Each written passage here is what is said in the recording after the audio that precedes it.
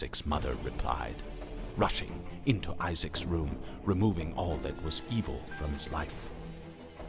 Again, the voice called to her. Isaac's soul is still corrupt. He needs to be cut off from all that is evil in this world and confess his sins. I will follow your instructions.